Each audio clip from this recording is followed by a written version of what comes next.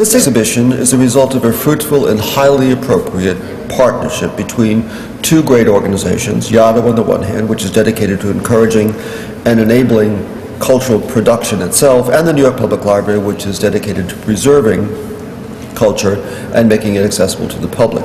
If there's one part of the exhibit that you simply must see, it's the great Tower of Books it's a physical, the physical embodiment of the cultural kind of production. We all have to be so grateful for it took place at Yaddo. Our partnership with the New York Public Library, as Paul expressed, is vital to us because it allows us to not only preserve part of the history and the accomplishment of Yaddo, but to make it available to future generations of scholars and the general public. So who has called Yaddo home? Since 1926, more than 5,500 artists have worked in literature, the visual arts, music, choreography, performance arts, film, and video.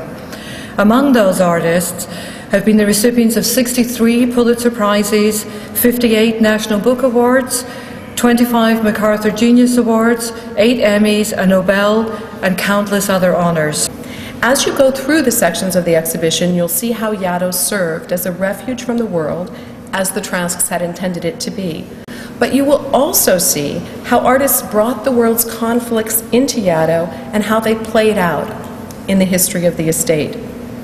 You will see how Yaddo has given artists the possibility of creative solitude, again, as the Trasks had intended, but also Without making this part of its mission, it inspired a multitude of friendships, rivalries, and collaborations, creating a community out of America's best artists.